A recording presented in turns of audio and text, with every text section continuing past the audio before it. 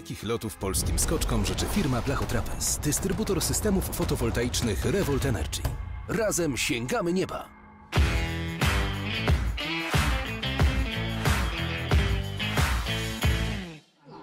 Zadowolony być nie możesz. Nie mogę. Nic nie dodam więcej, nie mogę być zadowolony i tyle. Skoki tak wyglądają, czy to jest e, wpadka tutaj wiślańska?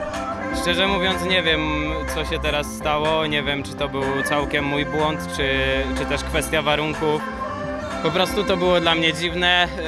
E, Dzisiaj generalnie się dobrze czułem na skoczni. Te dwa poprzednie skoki, mimo że nie były może rewelacyjne e, w kontekście całej stawki, to, to ja się naprawdę dobrze z tym czułem. E, I uważam, że była szansa się dostać do konkursu. Teoretycznie dalej jest, ale praktycznie no nie wiem, nie wiem czy coś z tego będzie. Nie będę Cię męczył na temat e, tego skoku, natomiast powiedz, jak wyglądają przygotowania z kadrą narodową, bo dostałeś dużą szansę, to jest zupełnie inne życie niż e, to, do czego się przyzwyczaiłeś przez lata.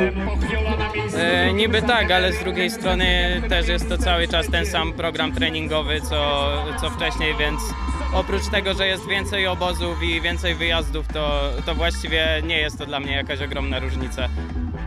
Co sprawia Ci największe trudności? Sprzęt, zmiana skoczni, jak to wygląda? Chyba zmiana skoczni jest najcięższa, bo jednak y, nie mam tej techniki wypracowanej na tip-top i, i każda zmiana skoczni też wprowadza nowe, y, nowe po prostu zmiany, które, z którymi się muszę zmierzyć i, i po prostu no, muszę pracować, żeby, żeby w końcu dojść do takiej dyspozycji, gdzie skocznia mi nie będzie robiła różnicy. Przepracowałeś e, te wiosny tak jak chciałeś, bo zimą były problemy wirusowe. E, Da się to nadgonić? Są jakieś skutki uboczne? Myślę, że się da nadgonić, ale na pewno mogło być lepiej, gdyby tej przerwy nie było związanej z wirusem.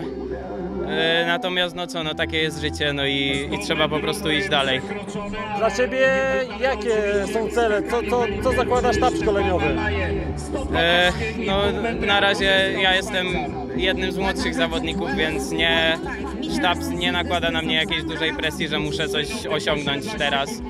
Po prostu cały czas z trenerami kombinujemy, co by poprawić, żeby było lepiej i, i jak na razie trzeba po prostu dużo cierpliwości. Trener Doleżal powiedział mi, że w Twoim kontekście, w kontekście Kaspra Juroszka, to jest okres 2, 3, 4 lata nauki. Czujesz, że masz ten czas, że, że to nie musi być już teraz? To znaczy, no y, też mi się wydaje, że mam czas tak długo jak trenerzy y, będą chcieli po prostu, żebym był z nimi w kadrze, a, a widzę, że, że też się o mnie martwią i że się starają, żebym, żebym ja lepiej skakał, to, to będzie, będzie dobrze po prostu, trzeba tylko czasu.